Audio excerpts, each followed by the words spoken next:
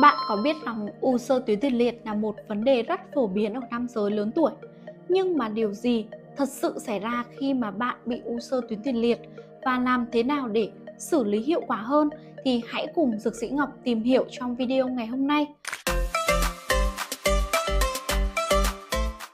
Đầu tiên, u sơ tuyến tiền liệt hay còn gọi là phi đại lành tính tuyến tiền liệt BPH. Nó là tình trạng tuyến tiền liệt bị phi đại và chèn ép niệu đạo thì điều này gây ra nhiều khó khăn trong việc đi tiểu và có thể ảnh hưởng lớn đến chất lượng cuộc sống. Thì hãy tưởng tượng rằng là mọi người phải thức dậy nhiều lần trong đêm chỉ là để đi vệ sinh thôi ạ. Thì đây là một trong những cái triệu chứng phổ biến của BPH thì nguyên nhân mà uh, gây ra BPH vẫn chưa được xác định rõ ràng nhưng mà các chuyên gia đã tin rằng là có liên quan đến sự thay đổi nội tiết tố khi mà bạn phải già đi.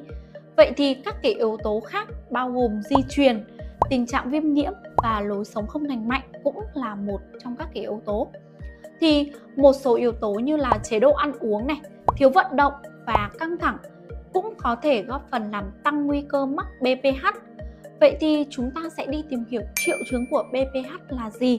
Thì triệu chứng ở đây bao gồm đầu tiên, đó là khó khăn khi bắt đầu đi tiểu. Thứ hai nữa là dòng nước tiểu bị yếu hoặc là ngắt quãng. Thứ ba là cảm giác là không thể làm rỗng bằng quang hoàn toàn. Tiếp theo nữa là thường xuyên đi tiểu và đặc biệt là vào ban đêm. Cuối cùng là có thể liên quan đến nhiễm trùng đường tiết niệu nữa. Vậy thì những cái triệu chứng này không chỉ gây phiền toái đâu ạ mà còn có thể dẫn đến các cái vấn đề nghiêm trọng hơn như là tổn thương bằng quang và thận. Thì để chẩn đoán chính xác BPH bác sĩ sẽ thực hiện một số xét nghiệm như là khám trực tràng bằng ngón tay này xét nghiệm ờ, máu PSA này siêu âm bằng quang và nội soi bằng quang. Thì việc điều trị BPH ấy, có thể bao gồm thay đổi lối sống sử dụng thuốc hoặc các thủ thuật y tế hãy cùng tìm hiểu chi tiết hơn. Đầu tiên thì uh, sẽ liên quan đến là thay đổi lối sống á. Chúng ta sẽ tập thể dục đều đặn này giảm lượng caffeine và rượu. Cuối cùng thì tránh uống nhiều nước trước khi đi ngủ. Tiếp theo đó là liên quan đến thuốc. Thì chúng ta sẽ sử dụng thuốc giãn cơ tuyến tiền liệt và bàng quang. Hay à, là chúng ta kết hợp thêm là thuốc thu nhỏ tuyến tiền liệt. Đó. Thứ ba đó là thủ thuật y tế thì phẫu thuật cắt bỏ tuyến tiền liệt van niệu đạo hoặc là hệ thống Uroline để nâng và giữ mô tuyến tiền liệt phì đại ra khỏi vị trí.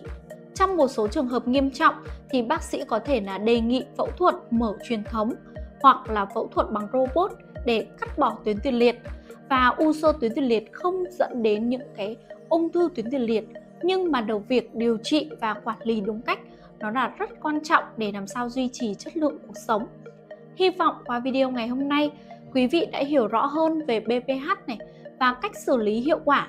Đừng ngần ngại chia sẻ thông tin này với bạn bè và người thân. Cảm ơn quý vị đã theo dõi. Hẹn gặp lại mọi người trong những video tiếp theo. Chúc mừng bạn đã xem hết video cùng với Dược sĩ Ngọc.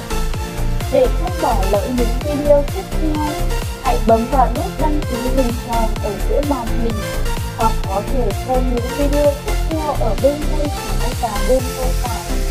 Xin chào và hẹn gặp lại video tiếp theo.